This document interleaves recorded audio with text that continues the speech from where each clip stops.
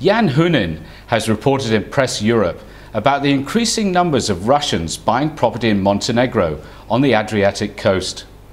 According to Hunin, the Russians come for the sea, sun, for peace and quiet, as well as for business opportunities. Taking advantage of old historical and cultural ties, more and more Russians are settling the former Yugoslav Republic and EU member candidate Montenegro. Vadim Soendoekov arrived in Montenegro five years ago and now runs a real estate firm in Budva, and he has no shortage of clients. In fact, so many Russians have flocked to the Montenegrin coast in recent years that Budva is sometimes nicknamed Moscow on Sea. Even in the low season, the nearby airport provides three flights a day to the Russian capital. The reason behind the large number of tourists and migrants from Russia is that Montenegro has something that the other Mediterranean countries cannot offer, which is a culture that is remarkably similar to that of Russia.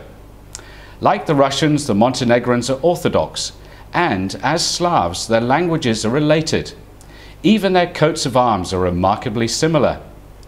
Also, the fact that Russians do not require a visa makes it just that little bit easier.